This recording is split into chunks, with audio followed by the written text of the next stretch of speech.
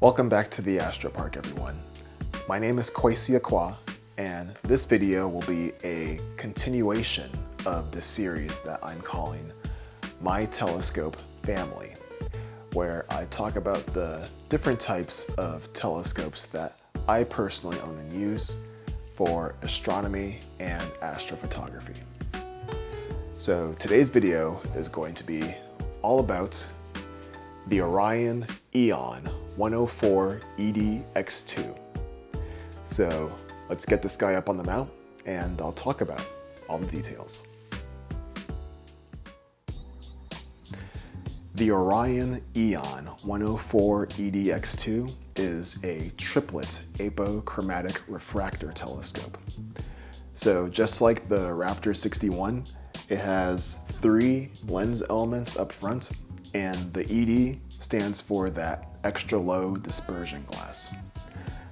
However, with the X2, it means that not only does this telescope use one element of ED glass, but it uses two elements of ED glass, giving this telescope fantastic color correction and very minimal to practically zero chromatic aberration, which is pretty remarkable.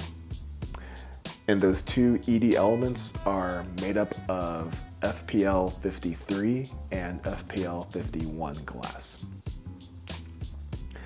So just like in the name of the telescope, the 104 EDX2 has a 104 millimeter aperture and a 650 millimeter focal length, giving it a focal ratio of f6.25.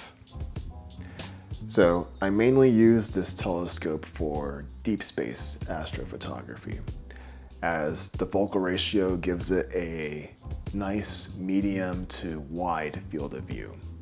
So objects such as the Orion Nebula, the Andromeda Galaxy, the Rosette Nebula, basically most of the Messier objects, as well as those medium to large deep space objects will all come out very nicely in a telescope like this.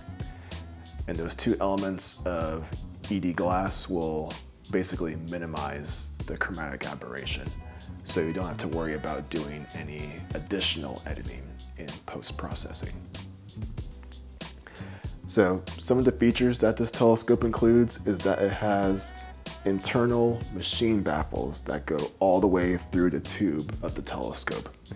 And this prevents the light from your subject from bouncing around on the inside, giving it lower contrast so you, you can ensure that all the light that's being gathered is all collected onto your eyepiece or your camera sensor. And another feature that it has, it has a very robust 2.7 inch rack and pinion focuser. And the rack and pinion focusers are designed to hold a lot of weight in the back.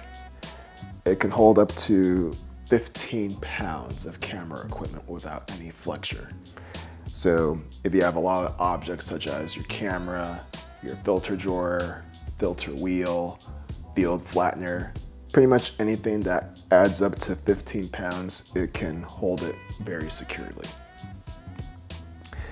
And it also has a 10 to 1 reduction focus knobs. So the large knob is for your coarse focus and the smaller one is for finer adjustments. And it also has two adjustment screws up top here. So this first one, you can adjust the focuser in any orientation. And the one in the back, you can adjust the camera in any orientation. So that can help you with framing your object properly. And one of my favorite features is that it has a ring locking mechanism in the back. Traditionally, most telescopes tend to use uh, set screws in the back to hold your eyepiece or your camera.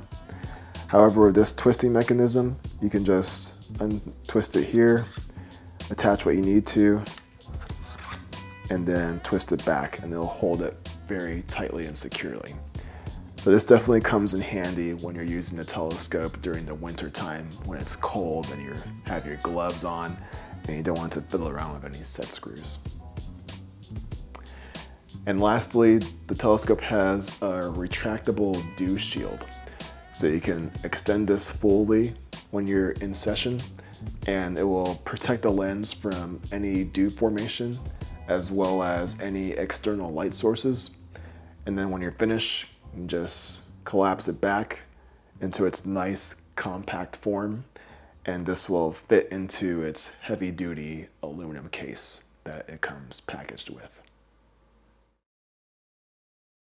Here's a few sample images that I've taken so far using the 104 ED X2.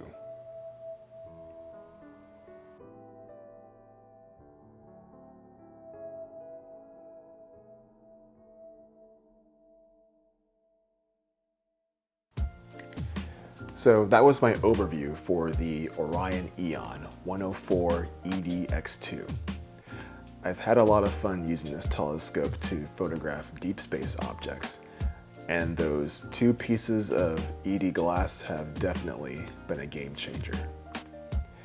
If you're already a seasoned observer or astrophotographer looking for a quality instrument to give you the best views as well as the best images possible, then I would recommend giving the 104 EDX2 a try. So, thank you for watching Astropark, and until next time, take care, and I wish you all clear skies.